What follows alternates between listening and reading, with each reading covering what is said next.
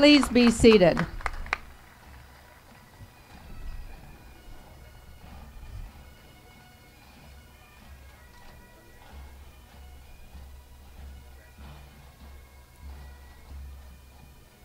Welcome to Salt Lake Community College and to our first annual fall convocation.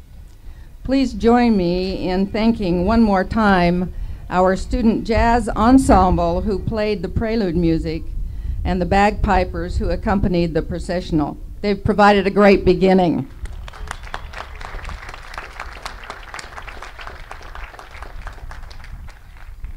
It gives me great pleasure to introduce our distinguished platform guests.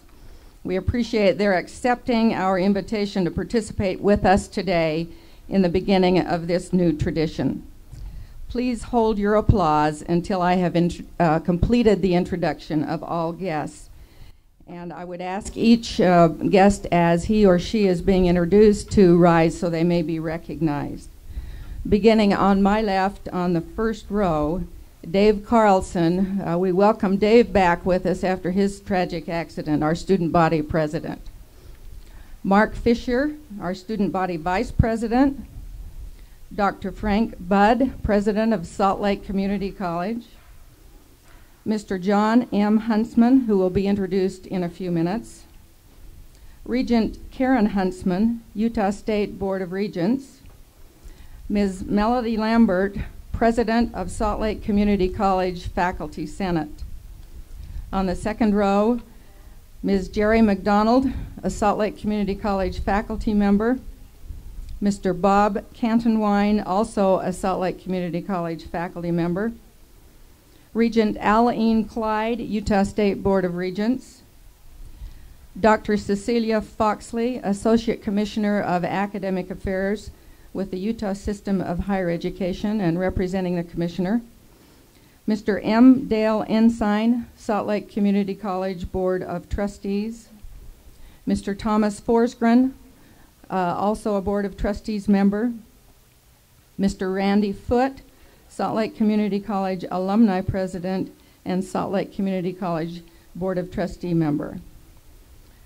Uh, President J. L. Nelson, Salt Lake Community College President Emeritus. President O.D. Carnahan, Salt Lake Community College President Emer Emeritus. On the third row, beginning on my left, Mr. Glenn Slight, a program participant. Ms. Jenny Bennett, a program participant. Superintendent Lauren Burden, Superintendent of the Granite School District. Superintendent Michael G. Jacobson, Tooele School District, President Stephen Woodhouse, LDS Business College, Dr. Geraldine McIntyre, University of Utah, Vice President of Academic Affairs, Mr. Heber Hunt, Salt Lake Community College Business Vice President, Ms. Catherine Boswell, Salt Lake Community College Assistant to the President, and Mr. Brent Goodfellow, Salt Lake Community College Executive Assistant to the President. Let's welcome our guests.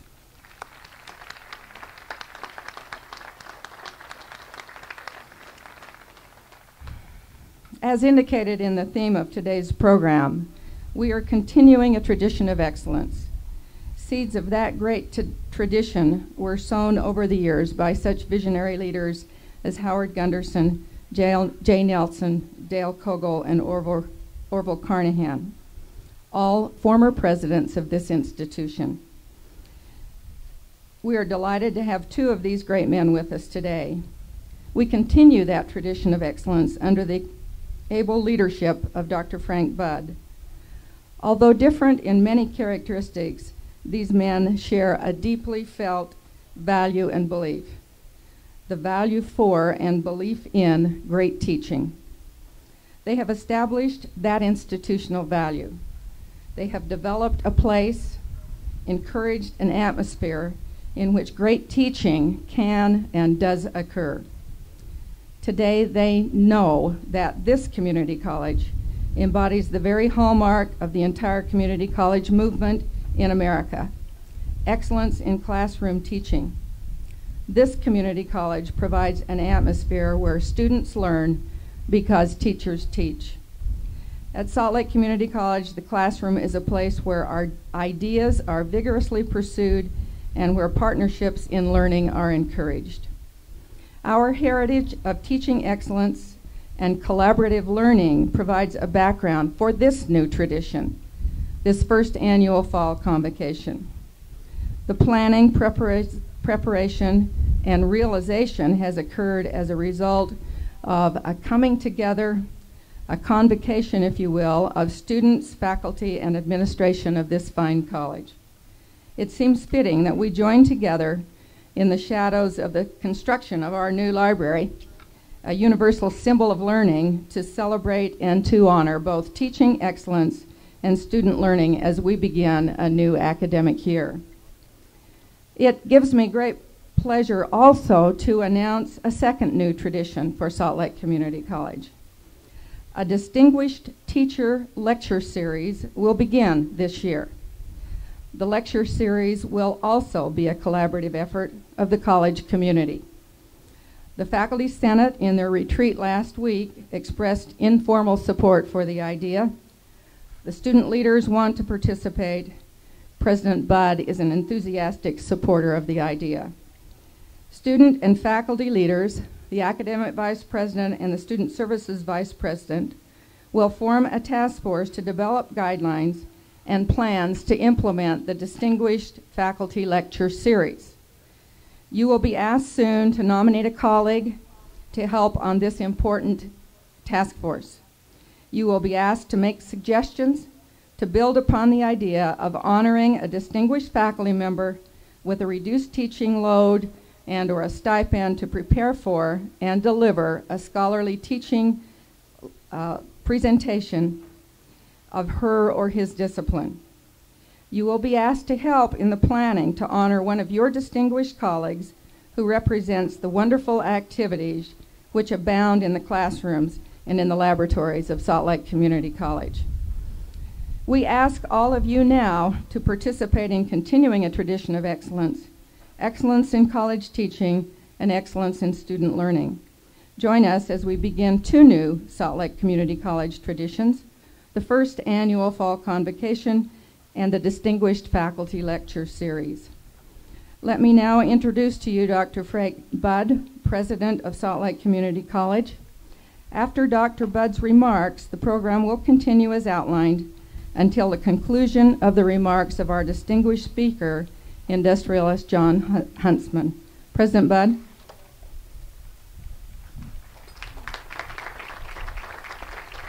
Thank you, Dr. Erickson.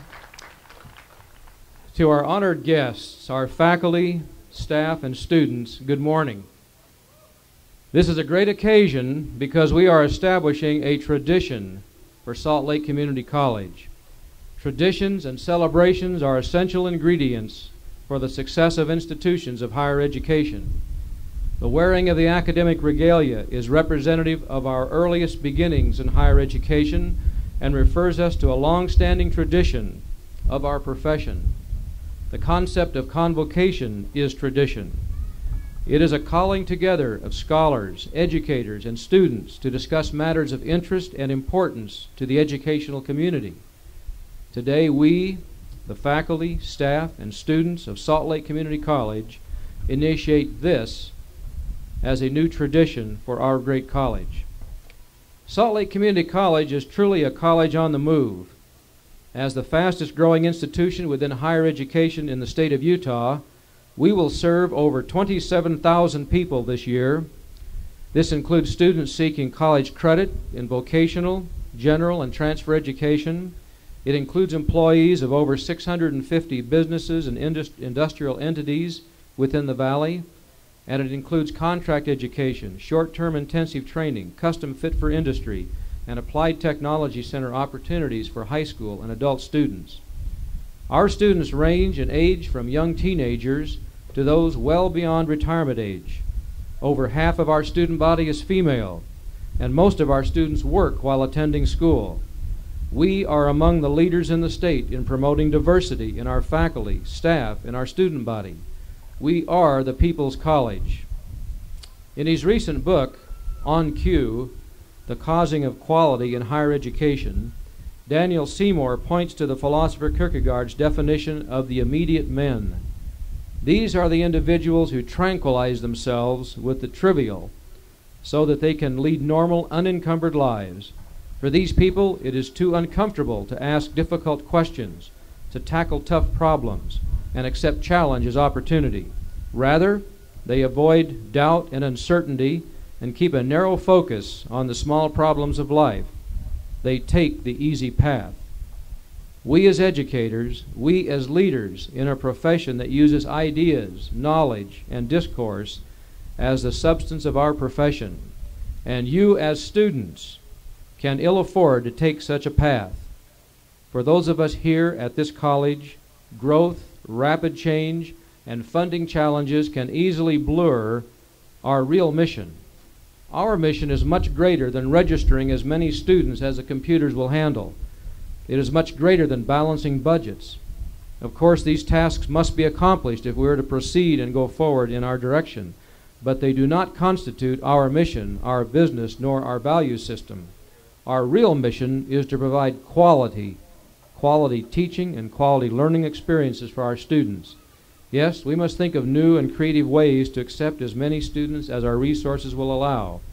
But we cannot forget that students who come to us deserve a meaningful, useful experience, and that is our real challenge.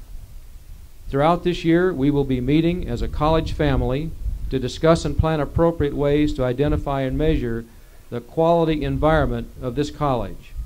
Within this context, we must believe we are a quality place and that our students are receiving an appropriate education. Then we need to acknowledge appropriate accountability to those outside of the institution. We must be prepared to demonstrate our quality. And you, who are students here, must believe and advocate that you are part of a quality enterprise. You must feel pride in what this college has attained, pride in the presence, and eager anticipation for its future. We can do it but not without thought, hard work, and perhaps most important of all, internal integrity. This will be our challenge for the coming year. I welcome each of you to this great college and to the beginning of a new academic year. I hope it is a year which will make a positive change in your life forever. Thank you.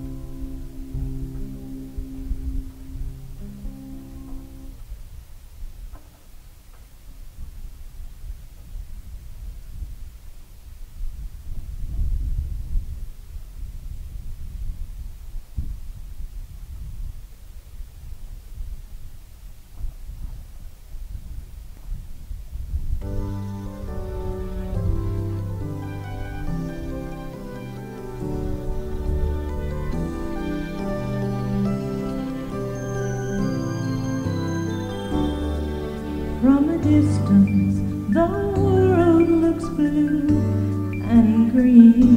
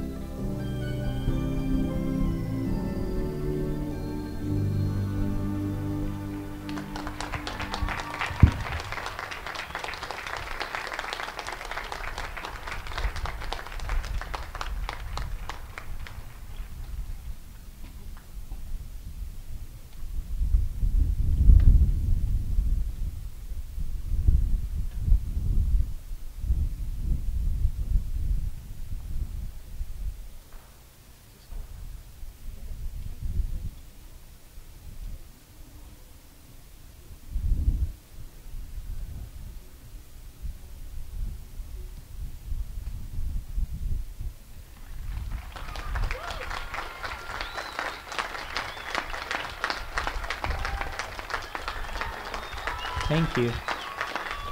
Thanks, Mark.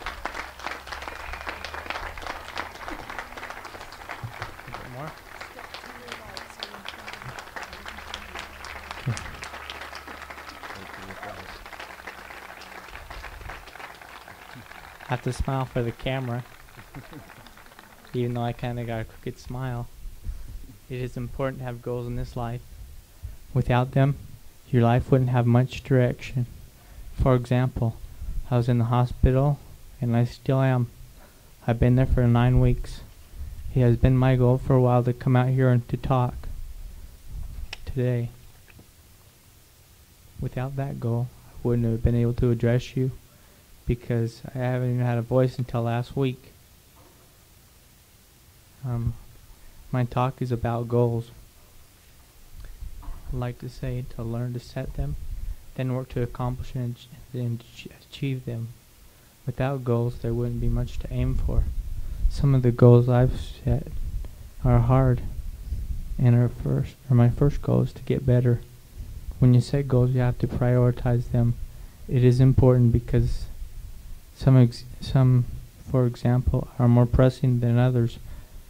Let me tell you, I didn't get, I didn't think I, I didn't think correctly how could I expect to get a job? I'd be required to think about a lot of problems and solving them. It is important for you to know that one of my accomplished goals, my first prioritized goals, is to get better so that I can accomplish my other goals. For example, I would like to graduate from Salt Lake Community College and go on and finish all my schooling. I'd like to get married and provide for my family. I want to be an example for my family and friends. They have done a lot for me already just by their support. I'd like to introduce you to my supporters up here. Okay, this one is my nurse on my left. Her name's Lori. Then for Lisa. Sorry about that, Lisa. I'm kind of nervous up here. It's a big crowd. If some of you turn around in the front row, you can see. yeah, back there, it's kind of nerve wracking. Then there's my mom right here. Then this is my vice president, Mark Fisher. And he's going to address you in a minute if it's okay with you guys. I want to return the favor by reaching my goals. I have other goals to reach that are important, and it's important that I strive to meet all my goals. Otherwise, life doesn't mean much to me. I would like to thank you for all coming out today to hear my talk, non-members of this school and everything. Um, I hope it has influenced you and inspired you to set some goals for yourselves. One of the goals that you guys should probably set is to continue the tradition of excellence at Salt Community College. Um, now I'd like to have my Vice President, Mark Fisher, talk to you, address you. What he has to say is important, so be sure you pay attention. It's worth your time. Thank you for coming or taking part in today's convocation. I'd like to thank those up here who have helped me too. Is that alright? Yeah.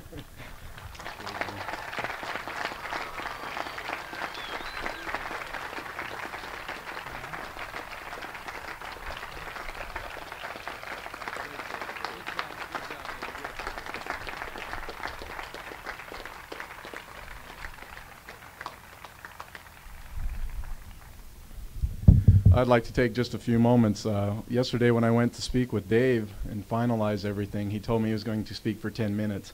I told him we only had five, so he had to cut it down. And, but uh, we're more than happy that Dave has been able to make it this far. Um, Dave, as Dave spoke about, I would also like to speak about setting goals. I, I just wanted to build on what Dave had to say. Dave has been a great example for me, and I hope for everybody that attends this institution. Dave has uh, overcome huge barriers to be here today, and it was all because he set goals to be here. He wanted to be here. He loves Salt Lake Community College, and he loves serving the students as our student body president. Uh, one thing that I'd like to say shortly is that um, this sometimes uh, education gets very hard, and things don't go exactly the way that we like them to go.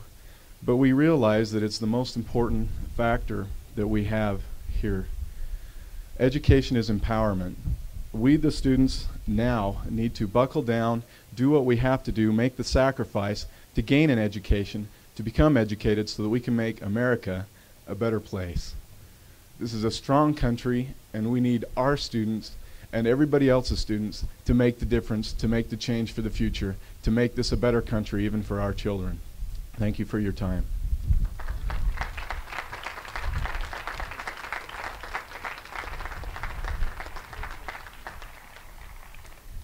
Judd told me I had only three minutes, and I don't know whether to complain or not, but uh, I'm going to add a fourth minute to my three planned ones by digressing and saying something to David. Uh, several years ago, a young friend of mine was injured in a terrible car accident in Heber. When Bernie came to, he was a C4 quadriplegic. That means nothing moves from the fourth vertebrae down. It's a long story that I'll make short, but where Bernie found his life coming together again was at Salt Lake Community College Skills Center and with the projects with industry which taught him how to use a computer. I met him as a student in my business classes, and I want you to know that next year he will graduate from law school sitting in a wheelchair, but with that kind of accomplishment behind him over this many years. So David, I have full confidence that you will achieve your goals, and I hope that by relating Bernie's story briefly, many of you understand that this college is about many things, not just uh, faculty, not just students, but about opportunity and about people and industry who work together for that. Having a few minutes to speak to students is like this, in a group like this, is a rare opportunity for a faculty member. I welcome the opportunity and I've addressed my remarks specifically to students, although not exclusively to students. I hope that our coming together will be a tradition that strengthens us all. I also support the original purpose of a convocation to assemble scholars to hear and express opinions and to reach agreement through the exercise of free discussion.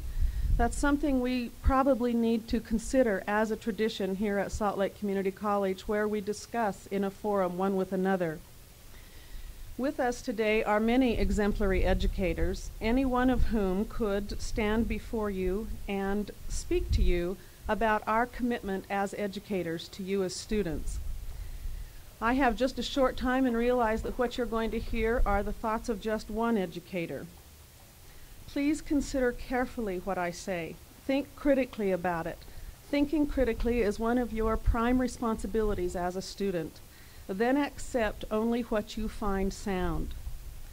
As you commit yourself to your studies at Salt Lake Community College, don't let fear be your motivation to do or not to do something. Don't be afraid of paradox, of contradiction, of ideas that don't match with or that threaten your own. Don't be afraid of being wrong. Accept natural consequences for your actions, right or wrong. Be willing to sacrifice time, effort, ego, and money for your education. But never, never sacrifice your integrity under any circumstances. Students who cheat, and nationally many admit that they do, sell their integrity for five points or five or ten percent.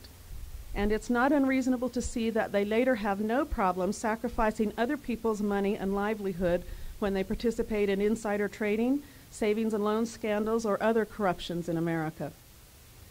Compare yourself with others only for inspiration.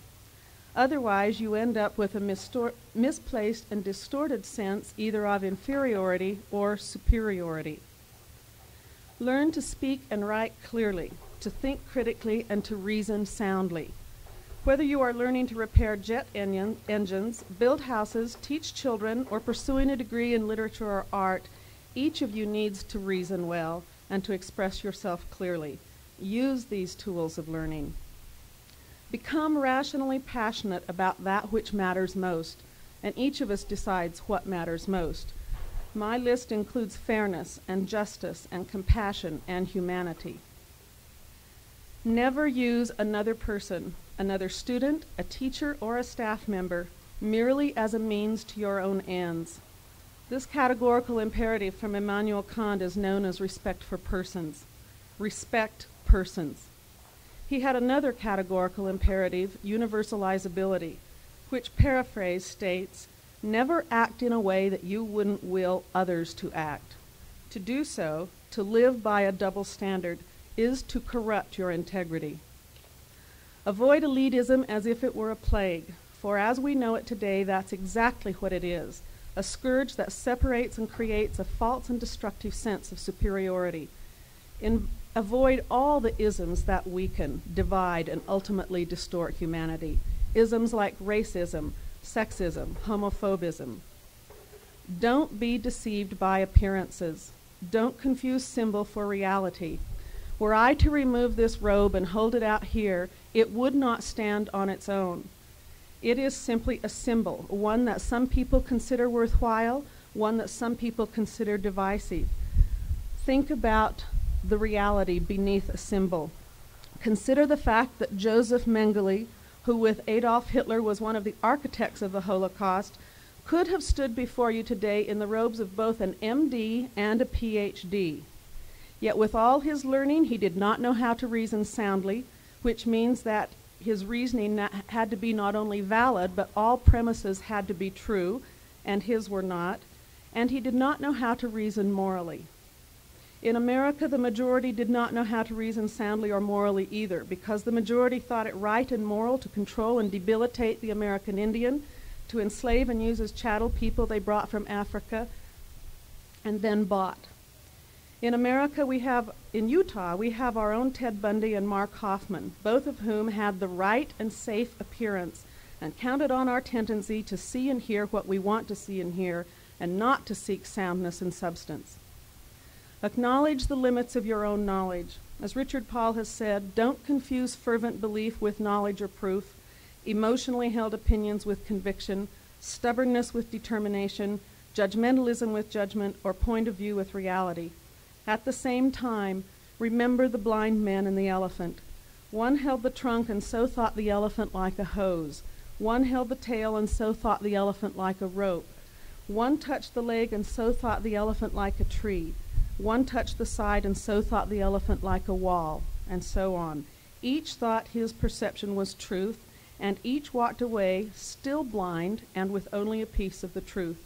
We need one another, for each of us is blind in some way. Help and support and nurture one another. In the long run, these will emancipate us all. Thank you.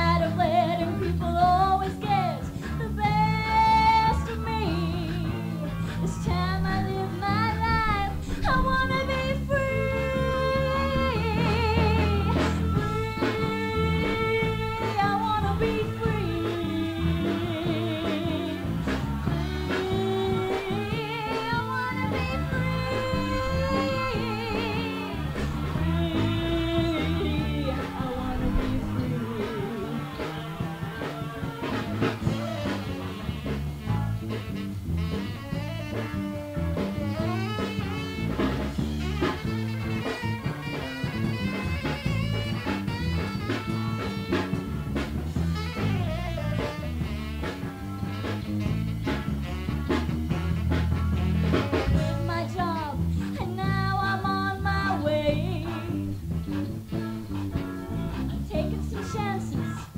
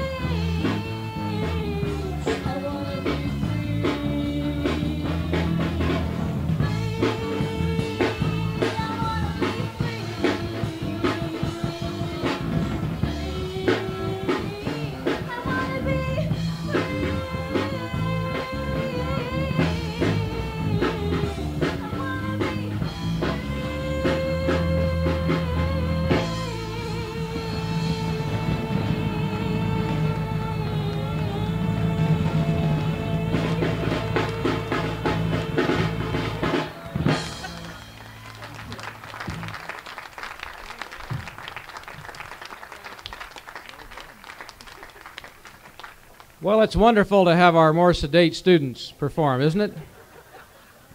It's just great to have our students performing. I think that's wonderful. It's my privilege this morning to introduce our most distinguished speaker, Mr. Jon M. Huntsman. Mr. Huntsman is Chairman and Chief Executive Officer of the Huntsman Group of companies, including Huntsman Chemical Corporation, which is the largest privately held chemical company in the nation. He's well known for his leadership and contribution to the nation and the world's industrial scene. But I know that more important to him is his opportunity to give back to society and his fellow beings some of what he has realized through his success in business. More notably, uh, as a philanthropist, he is known for many dedicated efforts and generous contributions in support of the community and the state, nationally and, and internationally. He's well known for his dedicated efforts in rebuilding the country of Armenia after the 1988 earthquake occurred, which earned him the country's highest award, the Medal of Honor, presented to him by the Republic's Prime Minister. He's very recently returned from a, a very interesting trip 18 days gone, 15 countries visited. Perhaps more important than all of these things to Jon is his family his dear wife Karen, who is on the stand with us this morning as a member of the Utah State Higher Education Board of Regents, and their nine children. I know that in his, in his order of priorities, this is his first priority. He's a great contributor, he's a great person. We're honored to have him with us today. Please join me in welcoming Jon M. Huntsman.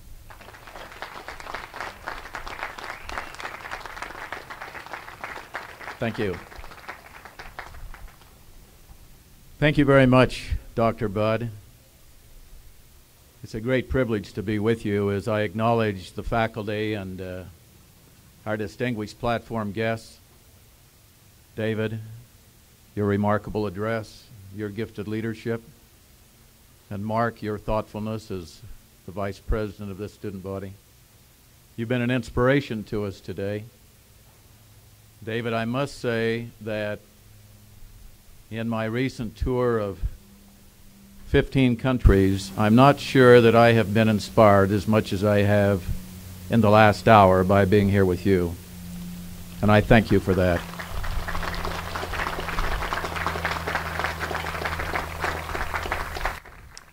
Also, David, because of your great remarks, I've given my wife Karen my remarks, and I thought I'd just kind of visit with you informally today, if that's okay. May I tell you how overwhelmed I am with this great campus? You have a magnificent quality school, a beautiful, beautiful spot. And as I watch the faculty march uh, down to take their seats here today, I recognize many of them as leaders in our community, pillars, great leaders, gifted and talented people. I'm just overwhelmed by this great, great college, by Dr. Budd, and by what his predecessors have done. And I commend each of you now as you go forward and develop a, a sense of quality in all that you do, a sense of excellence. May I take you back this morning just a few years and a few miles away? Because perhaps it would help you if I can recount some thoughts that have gone through my mind. I was born in Blackfoot, Idaho. Our home was consisted of only two rooms, and one of them was not a bathroom. So we would we would walk out a few yards beyond our little home whenever the urging was necessary. My father was a school teacher, a humble man. His father before him was a school teacher and we had great happiness in our family. We had no material means, but we had a great desire to proceed and move ahead in life. Life has not been easy. Life is never easy. As we progressed through our teenage years, I remember that I had three or four jobs during high school. I rem- remember my brother Blaine and I would each get on one side of the lawnmower and mow lawns for people. All through high school, I would work at J.C. Penney's in the evenings and then afterwards would clean a meat market at night to help my father get through graduate school. During those years, they were difficult years. We were living in a $45 a month student housing, and I had one shirt to my name, and that was my high school. People often say, Jon Huntsman, you come from a lot of wealth and affluence. How do you know how those other folks live? Well, may I just say to you, life is filled with a lot of challenges. Life is filled with some of the greatest opportunities today that ever faced man or woman. And I have been very grateful and very appreciative for the opportunities that have befallen our family. When we decided to start our business, everyone said, no, don't do it. Because you see, the timing is never right to start a business. The timing is never right to go back to school. The time is never right to start your own personal challenge. There are always excuses and there are always roadblocks. And then when the bank said, no, we will not give you the money, I had to develop a philosophy that meant no means yes. Whenever you hear the term no, you must in your mind just mentally say, this really means yes, because there's an opportunity here. And as David got up to speak today, I thought, David, of how many times people had probably said no to you. And yet you were here because you wanted to be here. And it was important for you to be here.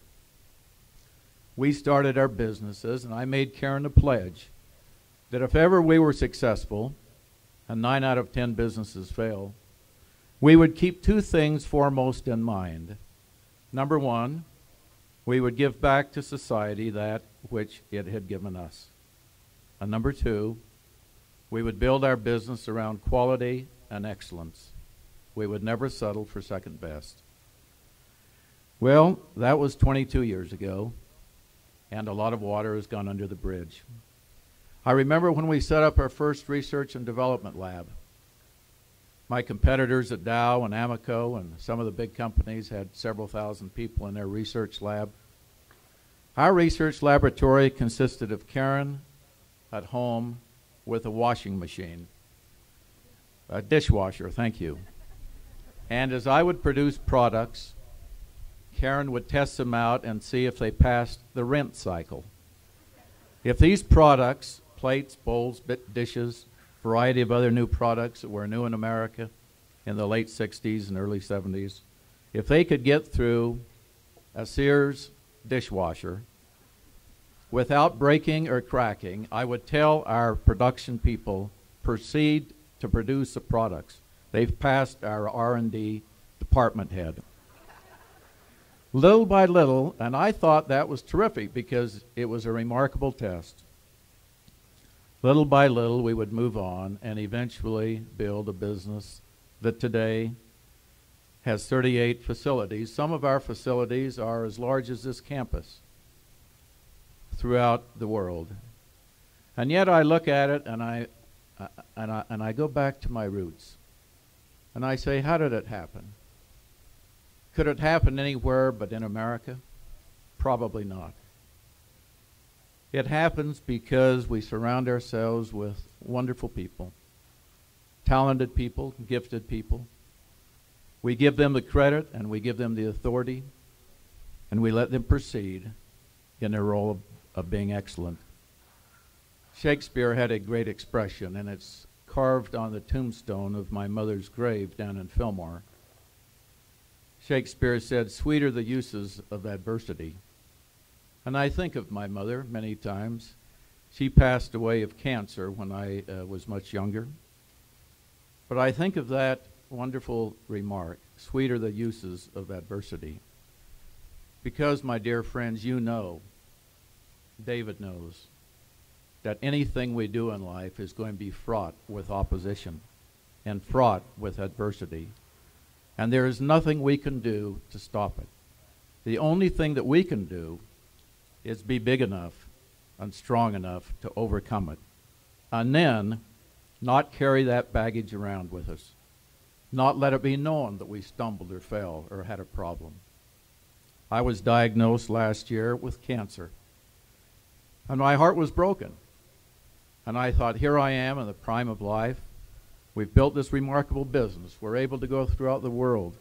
We're able to give back some of the things, some of the blessings that the good Lord has given us. What will happen to my life? And then I said, stop that. That's nonsense. Don't think about yourself, think about others. You'll get over this thing. And what if you don't? What if you don't? What difference does it make? What matters is what we do while we're living, and to be positive and upbeat and committed, and to be thoughtful to one another and gracious to one another, and to strive again and again for excellence. Last year I was very, very honored because the President of the United States gave 100 awards for beautification of America. And 10 of those awards were given to industry. And only two of the awards were given to the chemical industry. And we were very honored that our company won both of the awards in the chemical industry of the White House last year for quality, for excellence, for beautification of our country and our lands. And I was touched because I had felt that perhaps we had kept the pledge that Karen and I had made when we started our life together. The quality, that excellence would never be forgotten and that we would strive for it. I went through one of our warehouses last week when I was traveling uh, through many countries. We have a beautiful black lady who is uh, one of my great uh, friends. She has this huge, huge warehouse where she is a manager. It is the finest, cleanest, neatest warehouse I have ever seen in the world. And Lucinda takes great pride in that.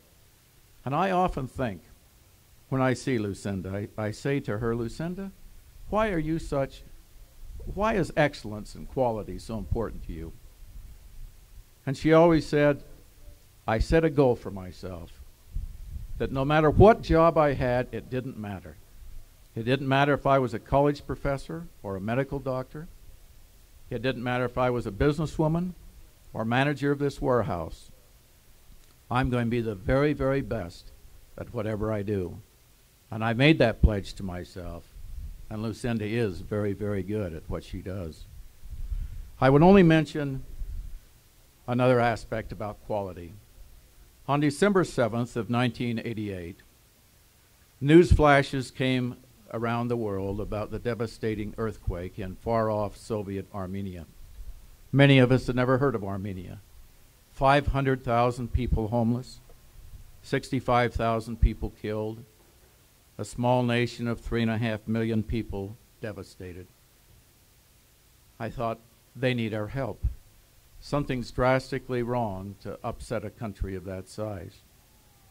As President Budd has indicated, we began to move resources into that country. We've helped set up hospitals. We have one of the largest concrete fabricating centers in the world there, where we make 6,500 apartments per year to house 25,000 homeless people. Our goal there is to house 100,000 people whose homes were lost in the earthquake. Why were their homes lost in the earthquake?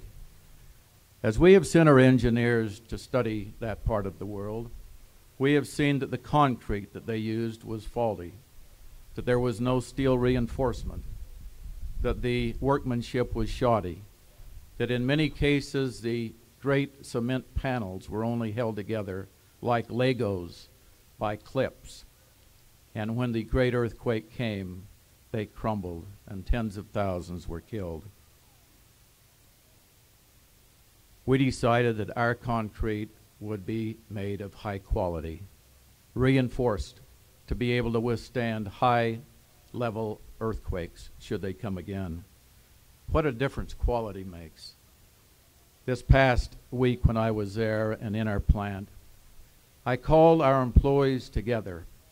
And this was quite a remarkable thing to me. These people gathered and they weren't quite sure what to do. You see, they'd lived in a communist country for the past 70 years.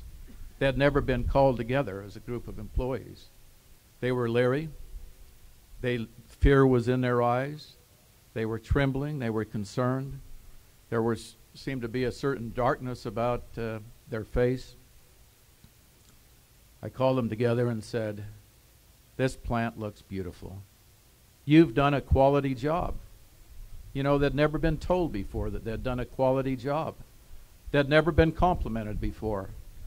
And I said, Because we're a capitalist and because we thrive on incentives, I'd like to teach each of you an important lesson from America.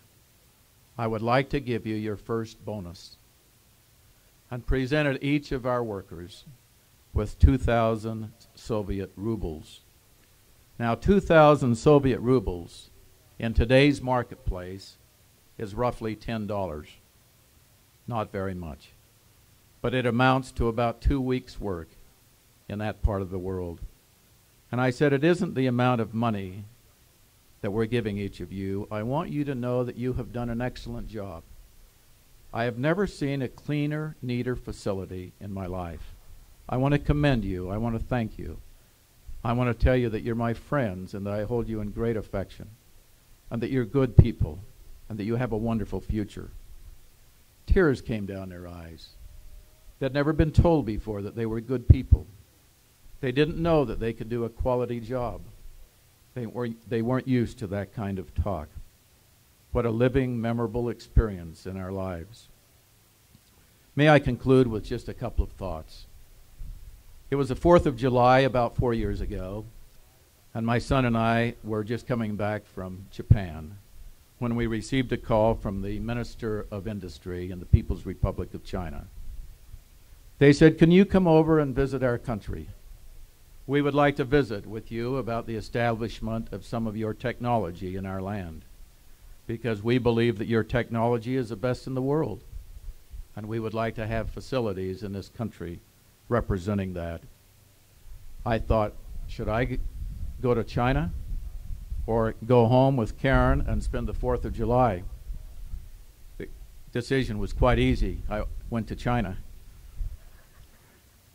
Karen has never let me forget that. But a, but a rather remarkable thing happened.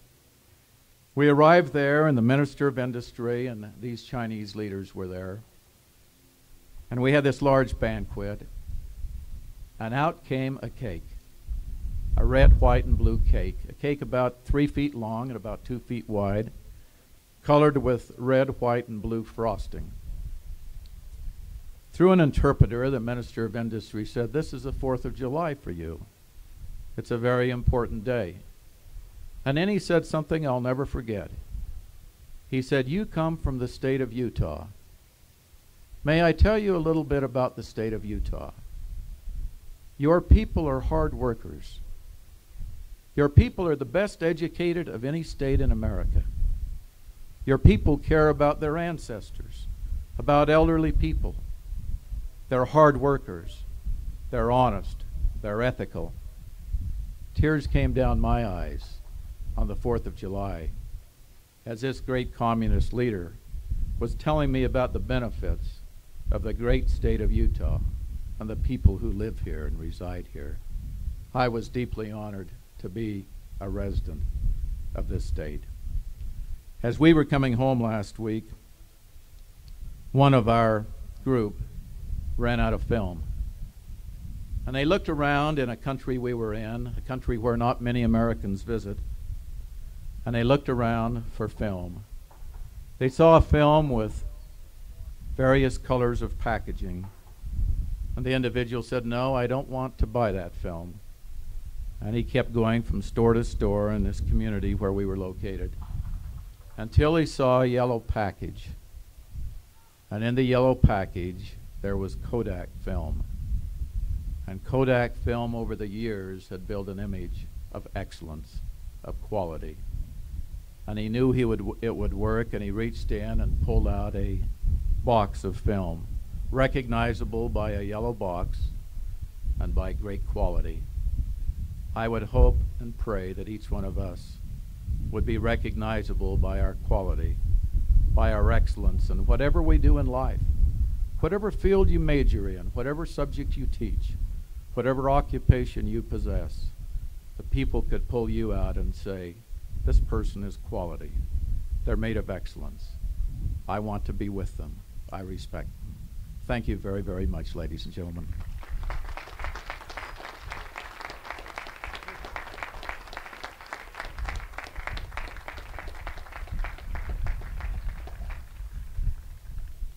Thank you very much, Mr. Huntsman. Thank you, Dave Carlson. We've been given uh, great challenges today to set our sights even higher, to strive for greater quality, and to continue continue our tradition of excellence here at Salt Lake Community College. Let's give our guests uh, for another round of applause for their wonderful ideas and the beautiful music.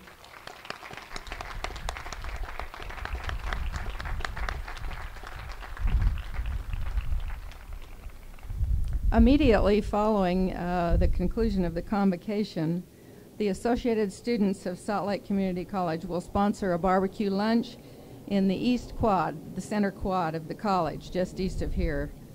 Uh, a minimal charge of a dollar, dollar fifty per person for a real great lunch. So let's join us, join them there. Uh, we will now conclude our convocation with Glenn Slight singing the national anthem. He will be accompanied by Jenny Bennett. Please arise for the national anthem.